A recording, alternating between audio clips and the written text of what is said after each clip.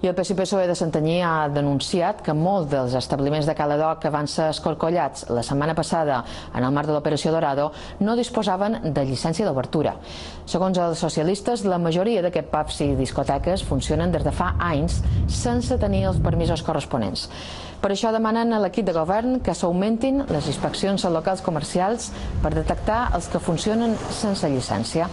L'Ajuntament ha assegurat que s'està fent feina en aquest sentit, però que tenen moltes dificultats perquè hi ha establiments amb llicència que canvien d'activitat sistemàticament.